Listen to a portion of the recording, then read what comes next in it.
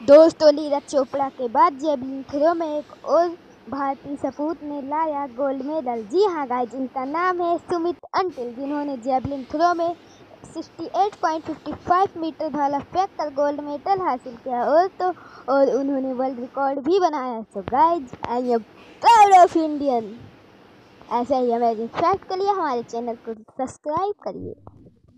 okay